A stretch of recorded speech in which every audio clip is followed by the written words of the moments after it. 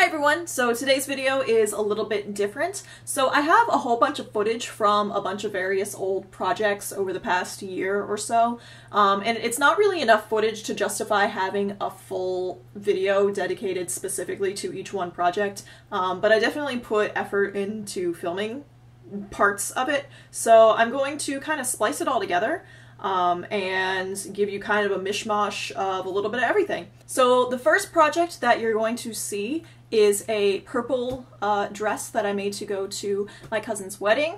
Um, I can't put that on for you right now because I have gained so much weight in the past year that I can't get into it, which is really frustrating. Um, yeah, we're not going to get into that right now because I'm still really angry about it. The second project that you're going to see is this winter cape that I made. Um, I got this nice kind of flannel with a blue metallic thread in the Garment District when I went to New York last year. Um, and it has a really fun lining because how else would people know that I'm actually a fish nerd? So you'll get to see how I make this. And the final project, I think it's the final one, is one that I actually worked on today, which is a mock-up for Simplicity 8747 because um, I have a project in mind with some more fabric that I got at the Garment District last year. Um, but now that the weather's starting to cool down, I actually want to start getting to work on it. And I'm not 100% sure what I want to do with the pattern. I'll talk about it a little bit later. Um, so I thought I would go ahead and do a quick mock-up and just sew this together real quick and see how it looks. So if any of those projects interest you, um, I'll go ahead and link a, uh, or list some timestamps right here probably of all the projects so if you just want to skip to one or the other um, here they are and if any of those interest you or if all of them interest you just keep on watching. Hi everyone! So I have a wedding coming up pretty soon that I'm going to go to and I need a dress to wear to it. So uh, what I'm going to do is something that I think is going to be a really fun little challenge. So I have a dress that I really really like but it's black. I'm wearing it right now. Uh, and in my family, we're, we're a little traditional. We do not wear black to weddings. We do not. It's just, it's a thing that we do not do. So obviously I can't wear this dress as is, but I really like how it fits. I like the cut of it. I like the silhouette of it. I just wish it was in a different color. So I am attempting to recreate this dress and remake this dress but in a different color. So um, let me show you what I've got done so far. Alright, so here's the dress that I'm going to try to recreate. Uh, I'm going to make a couple of changes to it because it is going to be a church wedding. Um, so I might not have the slit here. I might put the slit in the back instead. And I think I'm going to have like a little extra strap of fabric all the way around uh, for the off the sleeve and not just have it off the sleeve. I don't know yet, haven't completely decided, but let me show you the fabric I got. So this was the original fabric I was going to make it out of. It is a stretch crushed velvet and I got a yard of this in remnants, which is what kind of inspired me to make this project. And I absolutely loved it, but when I went back to go get another yard of it, they didn't have this exact color. They had something really similar, but it wasn't really exact and I would have had to buy two yards of it anyway so I figured if I was going to buy two yards of a different color I might as well go for a color I really really wanted. So I found this really pretty like eggplant purple uh, crushed velvet. It's the same fabric just a different color. So I went ahead and got two yards of this. Uh, this is already pre-washed and I hung it up to dry overnight. So that's ready to go so all I've really done so far is I'm trying to make a pattern out of the existing dress. Uh, it's not going that great, but I don't, it's a really simple dress. There's not really a whole lot of complicated draping going on. So it's just a front panel, a side panel, a front side panel, and one back panel. Um, so I just put the dress on real quick to see how it fits and any changes I wanted to make. So I'm probably uh, going to keep its sizing pretty consistent, but I am going to add an inch and a half to the bottom of all of these pieces so that it will sit on my actual waist. Uh, so I'm probably going to cut out the lining first. I have some like swimsuit uh, nude lining that I'm gonna use to line the bodice of this with. So I might not show you that because it's kind of see-through, but I'm gonna cut out the lining and put the lining together first so that I can kind of test out the fit there before I cut it out of the main fabric. So I'm going to start there and see what happens. So here I have the lining all cut out and sewn together. So when I cut out the pieces, I had to add a half inch seam allowance. Um, and also I added two inches to the bottom instead of one and a half because I needed one and a half without the seam allowance. So I just added two inches to the bottom to give me a nice um, length. So I tried it on as best I could and I like how it fits. I like how it sits. I like the length of everything. So I'm going to go ahead and cut it, cut out the main fabric and sew that together. I might not put the lining on just yet because I'm kind of thinking that if I do the ruffle around the shoulders, I might want to attach it when I attach the lining to the main fabric so that everything's kind of tucked away into itself. So I'm gonna, you know, one step at a time, I'm gonna get the bodice cut out and then figure out what. Alright, so here's my bodice cut out. It looks a lot more burgundy than it is, but I promise it's really, really purple. Um, so what I went ahead and did, I promise I did it nicer than it's laid out, is I measured the length along the top and it's 29 and a half inches. So what I'm gonna do is I'm gonna cut myself a ruffle and it's gonna be 20, yeah, 29 and a half inches like straight across this way. And then I'm gonna like do that. And then just kind of wing it. Um, and that's to get sewn along the top. And I think I'm to add that in when I install the lining. So I think that's going to be my next step. Because I'm realizing now that two yards is way more fabric than I actually needed so I feel good about playing around with these things and trying new things and experimenting so I'm going to go do that.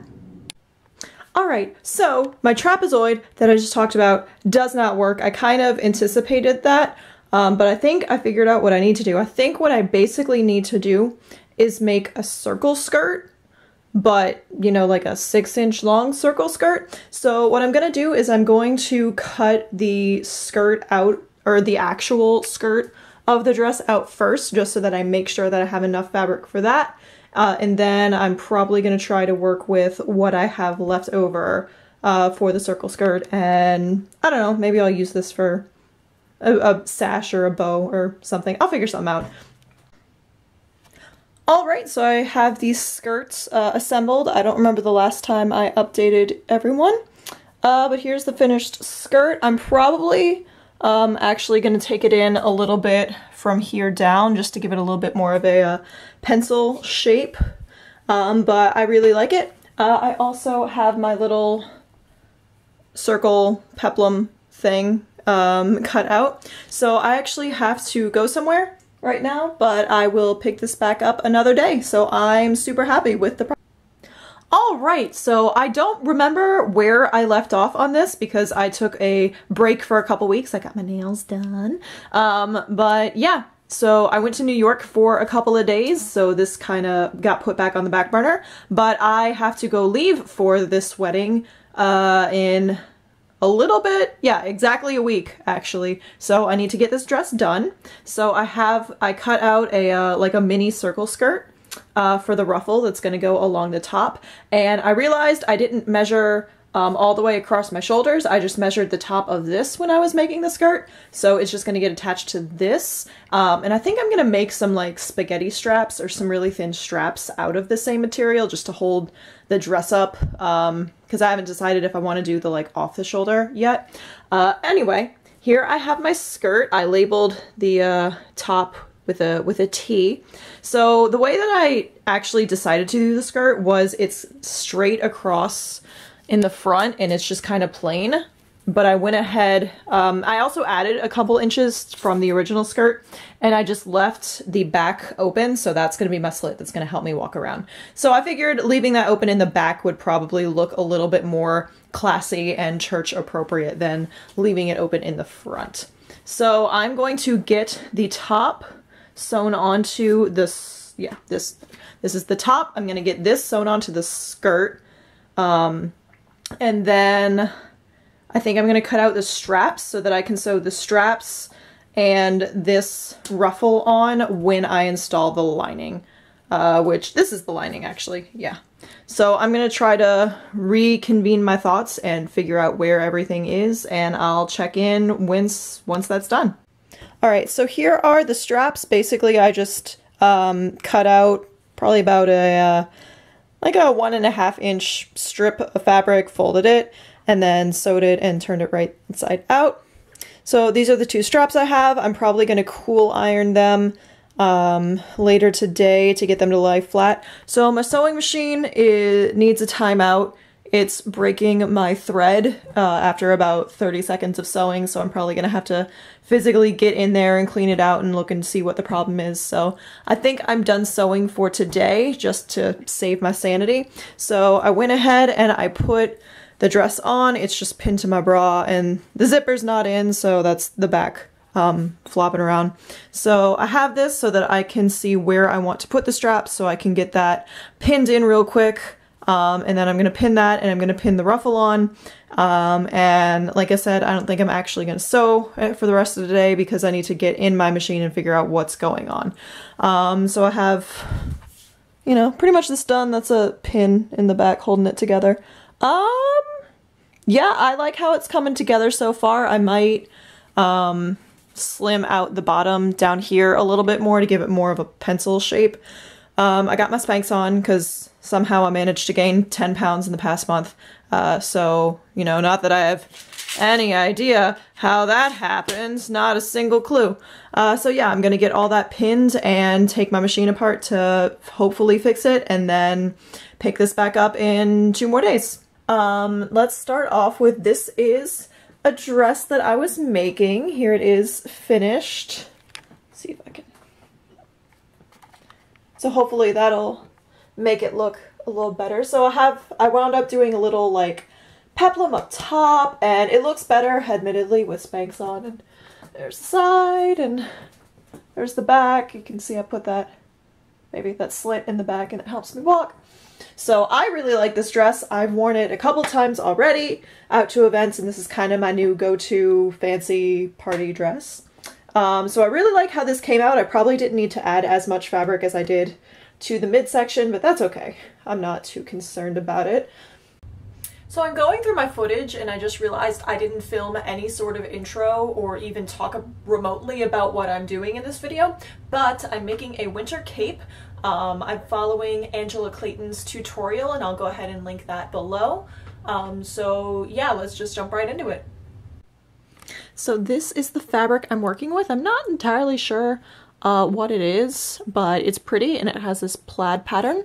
And I hope this is picking up on camera, but the blue thread in the middle is actually metallic. Um, so this is going to be the outside of the cape. And for the lining, I have a couple of options. So I was at Joann's a couple of weeks ago and I saw this um, that had a bunch of whales on it and I thought it was super cute and I had been thinking about it for a week. So I remembered that I was working on this cape so I went back and got it for this purpose but also when I was there I found this um, which I feel like the colors would match a little bit better and it has sharks on it which I mean either way my little marine biologist self would be very happy. But I'm kind of leaning towards this one. Um, at the end of the day, it really won't matter because the lining won't be seen. Um, but the main thing that I'm debating right now is I really wanted a fur, faux fur collar on it. And when I saw this in remnants at Joann's, that's kind of what my uh, my mind immediately jumped to this project. It's a faux rabbit, so it's kind of a gray with a really dark base to it. And then when I was going through my stash the other day, I actually found this faux mink, um, and I feel like this also would look really good. I just don't know really which one I would want. Um, so I have those options and I also have some buttons. So I hadn't looked at this fabric in a while when I was going to get notions for it. So I remembered the uh, metallic being gold instead of blue. So I was going for gold buttons. So I think it'll really determine. So I picked some gold ones.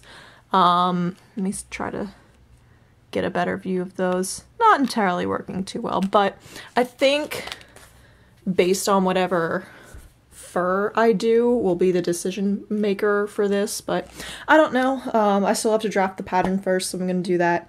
Uh, and my boyfriend is actually really good at aesthetic decisions, so I might ask him his input and see what he has to say. So my regular mock-up material, because um, I haven't had to make a mock-up of anything in a very long time, is buried underneath um, about three years of fabric hoarding. So I actually found this, which is literally just a twin-sized flat bed sheet uh, that I was going to use for another project, a project that's actually in a bag over here that I picked a, a real fabric for. Yeah, so I don't need this for that project anymore, so I'm going to be using this for my mock-up for this piece. Um, so I'm not going to go into too much detail about filming it because I don't have a whole lot of room in my room anymore because I got some new pieces of furniture. Um, so I'm just basically going to make a circle skirt real quick out of this and come back when I'm done. So here's basically what I have so far. Um, it's hard to tell, but there was a nice fold in the crease that I just pinned to the front of my shirt to try to keep it as straight as possible. Um, I did have to go ahead and just make a little cut here so that I could get my head into the thing. Ooh, don't look So in terms of cutting out or marking where I wanted this armhole, I just kind of, see, I, I kind of just like bunched up my elbow and let the fabric fall over the crease and kind of the top of that is where I decided the top was going to be. I went up um, a little bit, probably about three quarters of an inch, and then I just kind of played around with the length for how like long this way it was until I found something that felt comfortable. So now that I'm playing with it um, and I'm looking around, I actually, I hope you can see that, the back is really, really full and I'm actually living for it. I really like how full and extra and how much fabric there is in the back. So I think I'm going to keep the back super full. Um, now in the front, I don't think I need all of this in the front, so I went ahead and I marked um, what should be a good center line. Uh, right there, I just kind of stuck my arm out directly side and drew on top. So I, uh, it will probably take me an embarrassing long amount of time to figure out exactly how to mark taking out some fabric from the front, uh, but I definitely want to keep all of that fullness in the back. So I will figure some things out and play around with my pins and we'll pretend that I knew how to do it and it took way less time than it actually did. Okay, so that surprisingly, genuinely didn't take a whole lot of time. Um, so what I did was I just kind of arbitrarily um, marked a triangle with pins and I wound up taking, let's see if you can see this. Uh, not really. I wound up taking about that much doubled that's folded over. So that would probably be about 12 inches, so about a foot of fabric um, and just kind of folded it in. I folded it to match a seam that Angie said would be uh, super helpful with hiding this slit here. So I just kind of made a seam, or what would be a seam right there, and it kind of worked out. Also in doing that, the uh, front line kind of looked a little weird and a little bit bulkier than I wanted, so I just kind of shifted the front over. And it's not flowing too well because it's pinned down to my shirt to keep it uh, straight, but I really like this. So now I think the next step is um, I'm going to cut this all apart, get my pattern paper that is really just brown packing paper, and sketch out a pattern. Wait, I lied. So the next thing I actually have to do is mark the hem all the way around so that I can have an even hem. So um, I saw a Pinterest thing that I was gonna do, but it seems kind of messy where you take like a, um, like a piece of string and you measure it evenly across a door frame and you coat it in like baby powder or cornstarch or flour or something and you just kind of rotate around and it'll mark your hem for you. So I wanted to try that but that seems kind of messy and quite frankly I don't feel like Swiffering my floor right now even though I'm gonna have to in like 10 minutes when I cut the real fabric out. Um, Either way, that sounds like a lot of measuring that I don't really want to do right now. So instead, I noticed that the length I want this is about even with the height of this little rolling cart. So what I'm going to do is I'm going to take my Sharpie and I'm going to duct tape it right here so it's really nice and secure. And then I'm just going to get right next to it and spin around and uh, hopefully that'll also work. We'll see. So I know it's kind of hard to see because of all of the stuff going on in the background, but here's my Sharpie. It is duct tape on. It feels pretty secure. So um, gonna uncap it and let's see if this works. Because remember, I try the stupid stuff so you don't have to. Alright? See?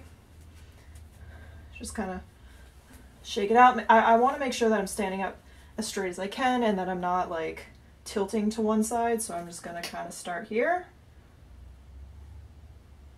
Unfortunately, my Sharpie was kind of running out of ink. Ah, that looks like that might work. Alright, so the back's gonna be interesting. Alright, so I'm kind of pleasantly surprised with how this turned out. I don't know if it's the most efficient way of marking an even hem, but it works. I would probably give it like a like a 6 out of 10, probably. So now what I'm going to do is get this cut and get this over to my pattern paper and make a pattern.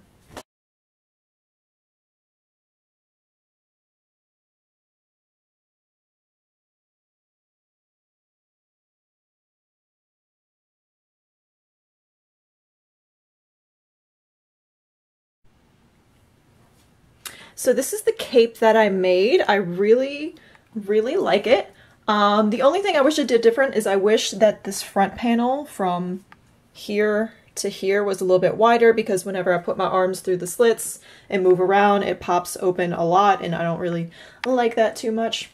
So the back has a lot of volume in it. I don't know if I can really show you.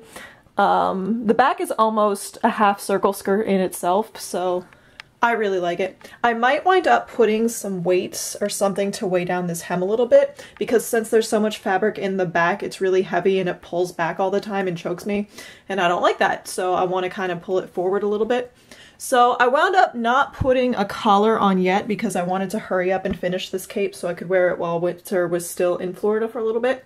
But I think what I decided is I'm going to do like a uh, detachable neckline kind of thing. So I have two fabrics that I really like and I couldn't decide between uh, to make a collar out of. So I'm going to use both the fake uh, mink, which is the brown one, and the fake rabbit, which is the gray one, and I'm going to make two collars out of that. But also, um, I'm going to make like a detachable hood um, out of this material that I should have enough left over to do. So I'm going to make a detachable hood um, and I'm going to line that with, uh, I haven't decided which, uh, which fake fur yet, but I'll figure it out when I get there. So I'm probably just going to attach that with some snaps along the inside. Um, and I'll show you the lining real quick. So I have sharks in the back and whales in the front. So it's one of those party on uh, party on the inside, serious business on the outside. So yeah, that's what I've been working on for a while now, and now I can probably finally finish this, uh, this video up. Hi everyone, so today I'm going to do something that I almost never do. I'm going to be making a mock-up. I know, shocking. So, a little bit of a story behind this project. Uh, last year I went to the uh, Met in New York City because I wanted to see um, their Heavenly Bodies exhibit, which is fashion inspired by the Catholic imagination. And I really love unique fashion and I absolutely love things inspired by Catholicism. I'm I am Catholic. Um, I love kind of the history behind it. I love the aesthetic, especially all the old like Gothic cathedrals. Um, I'm I identify more as like a bad Catholic in that I still pray to all my saints. I don't eat meat on Fridays during Lent, but I don't really go to church anymore. I'm more of a party Catholic because like there are the boring Catholics um, that are you know stuffy and uptight, and then there's the party Catholics who remember that Jesus's first miracle was literally turning water into wine at a wedding because they ran out. So like yeah, I'm a party Catholic. Anyway, so while I was up there, I also took the opportunity to go to the garment district for the very first time, and I picked up this fabric. This was before I really paid attention to what fabric was. Show you this side. Um, so it was very obvious that the garment district was cashing in on the uh, Catholic theme everything because I saw variations of this fabric multiple times in almost every store that I went to. So I finally settled on this one, which is black and gold, which is very near and dear to my New Orleans heart. Um, I also love the little crosses on it. I love the detail on it. So I figured this would make a really cute jacket. So my original idea was I wanted to make like kind of a blazer, but I wanted it to have like almost a pleated kind of ruffled back to it over the butt. Um, and also while I was there, I found these little epaulettes. They don't match perfectly, so I don't know if I'm going to wind up using them, uh, but we'll see. Uh, we'll see if I can kind of tie these together. But anyway, so I'm having trouble finding the actual pattern that I want for a blazer, so I'm kind of thinking I need to draft it and I need to kind of adjust maybe a couple of patterns. And last year when I made like a winter cloak, I wound up finishing it immediately after Florida decided that it was done with winter for the year. Uh, so I want to get started on this early. Today is October 2nd. So this is what I'm going to be making today. I have Simplicity 8747. So I had a couple of patterns that I picked for this project. This was kind of the first one I grabbed, which was McCall's uh, M7513. Um, and I like how this has like the pleating on the back and how this looks more like a formal blazer. But I really am not a fan of how the uh, peplum looks and how this seam in the middle looks. And I found a tutorial um, already on YouTube of somebody doing like a super in-depth making of. So I'm probably not going to do that for this one. I'll go ahead and link that below if you're interested. Um, so yeah, I'm kind of interested in this one and I like this one. But I really like the seaming on this one better. Um, I like how it's kind of not true princess seams, but it's got these seams and it's all one solid piece down the front. So what I'm going to do is I'm going to make both of these. I have some mock-up fabric that I'll show you in a minute because it's at the bottom of my pile. Um, and I'm just gonna real quick get an idea of what these are gonna look like when they're actually made and when I'm actually wearing them so I can kind of pick and choose which one I like better and what parts of one I like better because I might have to do like a little bit of a hybrid between the two. So that's what I'm going to be working on today. Um, so if you're interested in that, keep on watching. So here's the fabric that I have. It has this nice little flower print on it. Uh, anyway, this was on sale, so with all the sales and clearance deals and all that, it wound up being like $2 a yard, so I just asked for whatever was left on the bolt. Um, so I have four and a half yards, so I think that was a good deal. So that's going to be my mock-up fabric today. And I'm looking over at the pattern, and I don't think I'm going to do the facings. Um, I just don't think that's really necessary for a mock-up because you know, I'm not going to have to actually put in like buttons or anything in this. I just want to see how the main body kind of fits and goes together and see what the shape kind of looks like. So I think this will actually go together really quickly and I might not go into too much detail about this here. I might do kind of a more in-depth one when I make my final jacket because I'm probably going to have to do alterations and stuff to it. So I think this might actually wind up becoming like a um, unfinished bits or blog so I'm going to go ahead and get some of these pieces cut out. I'll let you know which ones I do cut out and start getting some seaming together because that looks like it'll just really go together pretty quick. So we'll see how that goes. So I don't need to cut out the skirt, but I did notice the ease, and it says that the ease for the skirt is approximately six and a half inches, and I looked over and the ease on the jacket is approximately three inches, so I thought that might be relevant to y'all. So it's hard to see, but here are the pattern pieces laid out, except the sleeve. I need to just push that down uh, after I get all the rest cut out because I don't have that much room in my room. So I ended up using pieces one, two, three, four, eight, and nine. Um, so those are, I believe, all the ones that kind of go on the outside of the jacket. So those are the ones I'm cutting out today. I'm not worrying about the facings. So those are the ones I need. Or if you are making this jacket and are using like a really expensive material for the outside and want like a matching but not as expensive material for the linings, this is what you'll need. So I'd estimate this is, I don't know, two and a half yards worth of material. Probably. Actually, I have a yardstick. I can answer that. So there's my yardstick. So yeah, you probably need two, maybe two and a half yards of material to cut out the A jacket which, and that's only cutting out the outside, which the pattern tells you that for this size you need, I don't think I can get it to focus, but the pattern tells me you only need like two and five eighths worth of material, and I don't see how you can get all the facings you need cut out of that, so yeah, definitely take that with a, uh, I guess a grain of salt and go ahead and up that and get like an extra maybe all the way up to like three and a half yards instead of two and five eighths because that's this is already kind of tight, and I can probably squeeze in a couple of uh, facing pieces in there, but that's, yeah, there's no way you're going to be able to cut everything you need out with 2 and 5 8 yards. So these are all my pieces cut out and I just wanted to point out this is one of those patterns that has like multiple piece fours. It happens to a couple pieces in here, but you can see like the gradations from here goes just size 6, 10, and 14. And then there's another piece four that has um, like 12, um, 8, and 4. So just make sure when you're cutting out from the big piece of tissue paper, you're cutting out the sides you need. So now what I'm going to do is make all of the marks. And you know what? I think I'm going to do it in Sharpie because I can. So I'm going to mark all of the marks and come back and start seaming some things together. So I thought this was the same thing in different languages, which is why I didn't look closer, but I'm glad I did now because down here um, there's different eases for different parts of the body. So the ease for the waist is about three inches, and the ease for the bust is about five and a half inches, which is interesting to note, um, and that's kind of important to know. Uh, also, it will make me feel a lot better later when the ease around the waist is intentionally smaller than the ease around the bust. But also, like, I don't know, doesn't really make sense to me. I mean, it does historically, and you know, historically the structure of these kind of garments, but the directions want you to insert a waist tape, which is meant for like a waist with high stress, so where it's kind of meant to shape you and uh, to give this fabric a good reinforcement against the tension of being pushed apart from your waist. Um, but yeah, if the ease is three inches and there's in theory going to be a you know a lot of extra room around the waist, why does this need a waist tape? Anyway, um, that's I don't know.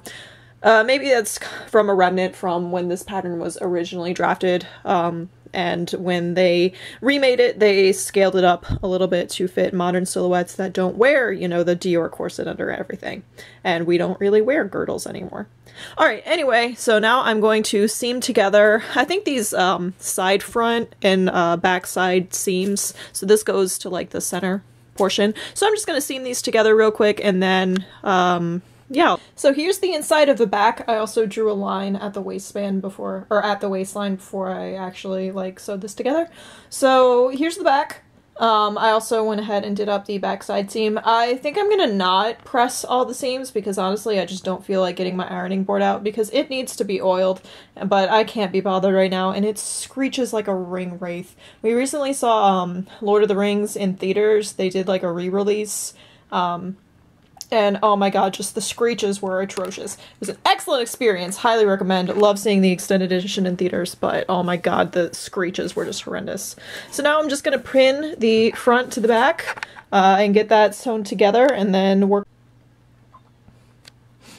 Okay, so the sleeves are a little confusing because the way that step 11 is worded kind of makes it seem like you're supposed to reinforce the dots on two places at the seam or on the sleeve, but you're really only supposed to do it at one. Um, so what I'm going to do is I'm just going to reinforce, and by that I just mean back tack down here a little bit, and this is the end of the sleeve, the sleeve head is up there. So I'm just going to back tack here a little bit and then stitch up here um, leave a tail long enough to tie a knot. So I'm going to get those stitched in. And then once that's stitched in, you're supposed to clip through to here or to this point, which is why it's reinforced there.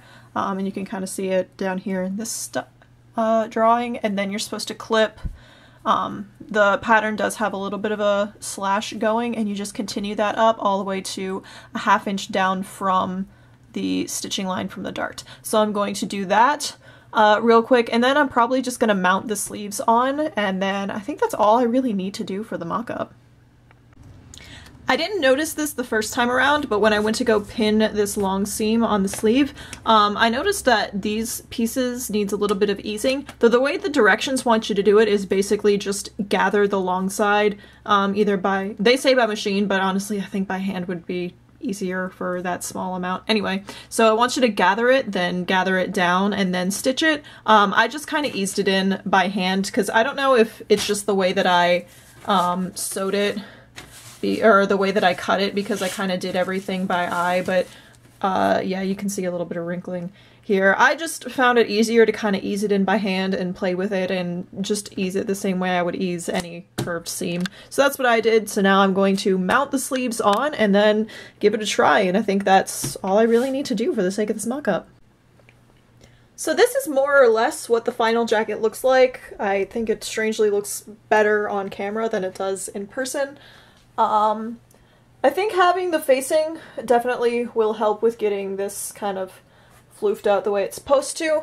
I'm I think it's cute. I definitely like it. I just don't think this is exactly right for this project because definitely needs a pointy collar, not a um, round collar, and I think this is meant to even be up like this. Um, I like how it came out. I like the pattern. I think it went together pretty well. Um, I just don't think this is the right pattern for this particular project.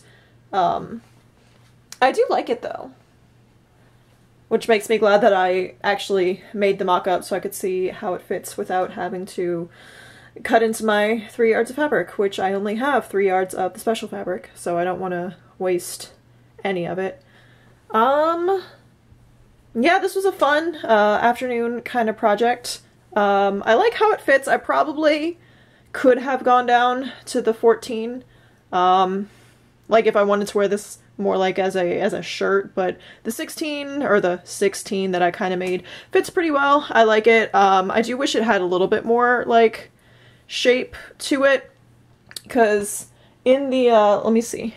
So in the fashion drawing, this is obviously meant to be much more fitted, and the fact that you're really supposed to put a waist tape in makes it seem like this is supposed to be much more closely fitting and a much more um, just tailored jacket, so having it come out kind of this big, uh, especially over here, doesn't look as great on me. I'm sure if I just took it in and tailored it, it would work out, but then I probably won't be able to wear this in two weeks because I'll probably gain another 10 pounds. Um, I like the armscye, but this is a good like range of motion for most people. Um, I am way more expressive than that. Um, I also like having full range of motion of my arms, so I would probably raise the armscye a little bit, um, and that'll help me get a little bit more movement without this popping up. I don't want to have, a, have to do the Picard maneuver all day whenever I wear this. Um, yeah, I like it. I just don't think it's right for this project. And who knows, maybe I'll uh, make this coat for real one day. And here's what it's it looks like when it's not pinned up the front. I just had it pinned, so I couldn't really do anything with it. And now that I look at it again, I do really like the back. Um, it actually reminds me a little bit about like like 1760s, 1770s fashion. Yeah, which is kind of interesting. I don't know. But uh, I like the back. This is almost exactly what I'm looking for in the back, but I just don't like the front. I don't think the front is right for this particular project. So just a quick wrap up for this pattern. Uh, again, this isn't finished, this was just a mock-up, so I don't have any of the facings in, and I don't have any of the final hems or anything in. Uh, I really like it, I think it fits pretty true to size. I don't really like the cut. Um, it doesn't seem like that should be the original cut and it definitely needs some tailoring but I don't know if that was the original pattern or if they kind of moderned it up a little bit to adapt to the modern silhouette because I don't know about you but I don't wear a girdle. Almost nobody wears girdles anymore. Um, the real true like Dior new look new look wasp waist really needed a corset and there was like a brief resurgence of true corsetry in the 50s. Um, so maybe they just kind of adapted the pattern to a more modern silhouette because the closest we get to any of that is Spanx, um, which definitely gives you a different shape than what um, the undergarments worn in the 50s would have. But yeah, overall, I really like this pattern. I think it's cute. Um, just not right for the project that I'm using it for. So I'm glad I figured that out now and not as I'm cutting into my very expensive fabric. So yeah, that's uh, it for this portion. So I hope you all enjoyed this video. I know it was different than the stuff that I normally do. Uh, let me know if you like this kind of different stuff or if you want, you know, my beginning to end all uh, thrown in there full uh, review and pattern tutorial. So let me know if you liked it and um, subscribe, maybe like, I don't know. That's the thing YouTubers say, but I'm not monetized yet, so it doesn't really do anything for me. It's a free country, do what you want. Um, also, you can give me a follow at Thread and Needlefish over on Instagram if you want to see some behind the scenes and some extras and things that don't make it to YouTube. You can probably expect to see more of this project because it doesn't have an actual deadline, so I won't get into a uh, just get everything done at 2 a.m. the night before. So this is just kind of a passion project for me. So you will definitely see more of it. Um, if not here on YouTube, then definitely over at my Instagram, again, at Thread and Needlefish. So yeah, if you're interested in this sort of thing, then stick around, uh, keep an eye out for my next couple of uploads, and see you soon. Well, hello there. Is there something that you need? Is there something you're trying to tell me? Did you have a good nap?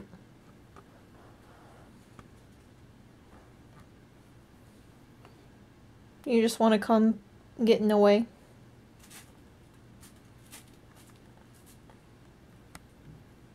You just want to come rub your face on my door? Okay, you can do that. What do you want? You gotta tell me. Good girl. Brat.